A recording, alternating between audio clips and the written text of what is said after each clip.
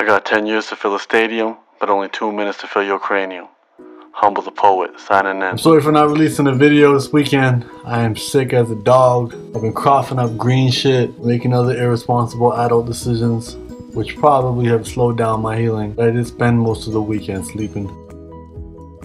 So you're chilling, you're having a wonderful day, the sun is shining, your beard is shining, everything is going wonderful. Then all of a sudden, boom, you get hit with a depressing thought. And it could be anything, but a simple, tiny depressing thought can take you down the rabbit hole towards more larger, more depressing thoughts. And there goes your day. Or does it? Here are three simple tips to dealing with depressing thoughts. Number one, change the channel. Remember, your thoughts paint your life. So if you're thinking sad shit, you're going to have a sad life. Well, humble, I can't switch my thoughts. I'm not a magician. Thanks for bringing that up, my handsome friend. Sometimes you may need to do a little extra to change the channel, but remember, changing the channel is essential. Maybe you gotta actively get up and change your environment. Maybe you gotta watch something funny on YouTube. Try doing 15 push-ups. Do anything and everything to change your current mood and get you into a new channel. Sitting around and letting those thoughts fester and grow is not gonna help. And while you're changing the channel, we can do number two as well. Number two, find the root. Instead of moving forward with the sad thought, let's go backwards and figure out where the sad thought came from. So when you feel that sad thought, stop and ask yourself, where did this come from? Maybe you saw some shit on social media that triggered a memory. Maybe somebody you don't like is doing something better and you noticed that and now that got you reevaluating your whole existence. Maybe you heard a song that reminded you of a sad time. Whatever it is, figure it out. Knowing what triggers those sad thoughts is what's gonna help you know what to avoid so more sad thoughts are not being triggered. But humble, I can't unfollow people I don't like on social media.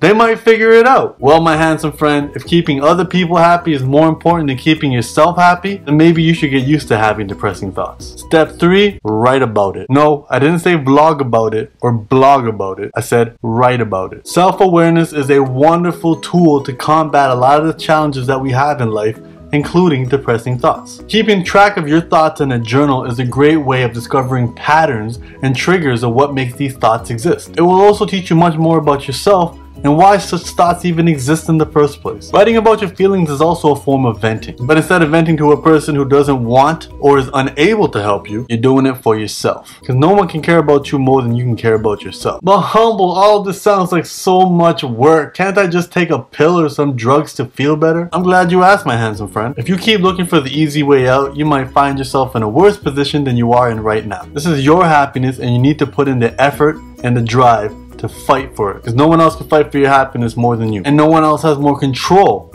over your feelings than you. As Abraham Lincoln says, yeah, the guy in the American Penny, folks are usually about as happy as they make their minds up to be. I know a lot of you have offered to get me new quote glasses, but we have to approve the new quote glasses. We're gonna have certain rules about what makes a cool quote glass, and then maybe if you guys have a dope pair, you guys can send them to me and I can break them too. So decide how happy you want to be and get to work. If you have any more tips on how you deal with your depressing thoughts, leave them in the comments below and share them with the community. Thank you so much for watching. As always, please comment, rate, and subscribe. If you like the way I think and the things I say, these are inspired by my books Unlearn and Unlearn Beneath the Surface. I'm waiting for Unlearn Beneath the Surface to arrive. It should be coming to my house in boxfuls in the next couple of days.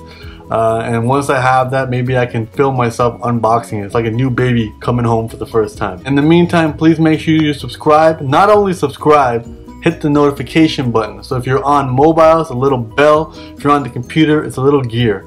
And that'll make sure you don't miss any of these videos. I really appreciate the time you took to watch this. Please share this with somebody that you like or somebody that you don't. Much love. It's always that tiny gap of anticipation that impacts us the most. Because in that tiny gap, there's a lot of I don't know what's about to happen. In many ways, that's dope, and in many ways, it's not. Because those milliseconds of the unknown can either make us very excited or extremely terrified. Whenever we do something new, those milliseconds of unknown can scare the shit out of us because we don't know what's gonna happen. And sometimes we think about what can go wrong. Oh, are we kidding? It's not just sometimes. We're always thinking what can go wrong. And when we see other people doing dope shit, we think to ourselves, wow, how did they overcome the fear? But the truth is, they didn't. They felt the fear, but kept moving.